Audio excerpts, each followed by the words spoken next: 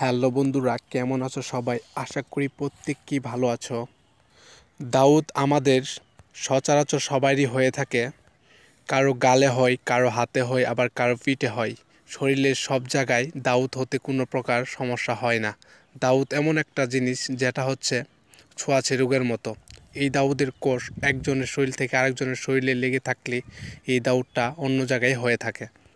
অনেকে দাউদ হয়েছে তারা অনেক ওষুধপাতি খেয়ে বা ওষুধ সেবন করার ফলেও কোনো প্রকার ফল পায় নাই বা ফল পেতে সময় লেগেছে।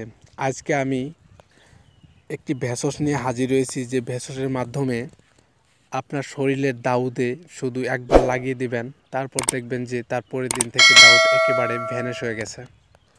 আপনি যদি ভিডিওটি ফাউল মনে হয়, তাহলে ভিডিওটি সম্পূর্ণ একবার দেখুন এবং এ অনুযায়ী পরীক্ষামূলক হলেও আপনার যদি দাউদ লেগে থাকে, তাহলে একবার লাগিয়ে দিন, দেখবেন যে তার পরের দিন থেকে একদম দাউদ ভালো হবে। তো দর্শক, কীভাবে ওষুধটা বানিয়ে আপনার দাউতের জায়গায় লাগিয়ে দিবেন, তা সম্পূর্ণ আলোচনা করছি। ভিডিওটি আলোচনা করার আগে আপনাকে বলব, আপনি যদি আমার চ্যানেলের নতুন দর্শক হয়ে থাকেন, অবশ্যই ভিডিও নিচে যে লাল সাবস্ক্রাইব বাটন আছে, সেখানে সাবস্ক্রাইব করে দিন এবং পাশে বেল বাটনটি চাপিয়ে দিন, তাহলে স্বাস্থ্য সমস্ত সকল ধরনের ভিডিও আপনি সবার আগে দেখতে পারবেন।